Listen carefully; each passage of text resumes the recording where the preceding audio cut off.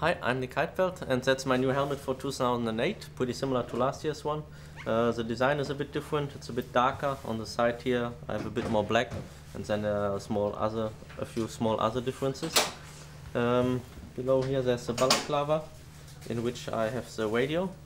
The microphone is in here normally.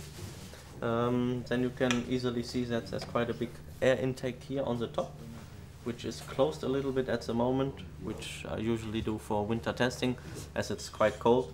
And this system delivers air for the whole head. Not only here, it even is delivered to the front, so I get some uh, fresh air. Then you see a hole here in the front where the drink pipe goes in. And during a race, I have the possibility to drink about one liter of fluid. Here, just next to that, you see the mechanism for the visor. It's quite easy to open. And maybe you did hear that there are two clicks which means you have the possibility to, to, just close it slightly. Then you still get a little bit of air in there or you fully close it. That's what I normally do.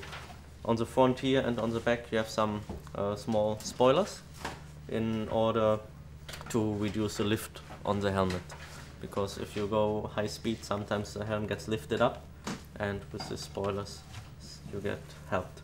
Uh, the last thing, the biggest one, most obvious one is the HANS system, which should help you in case of a, a crash. And we run that for a couple of years now. I had to modify it a bit. I have some something beneath here uh, in order to make it a bit more comfortable. And that's my helmet for 2008.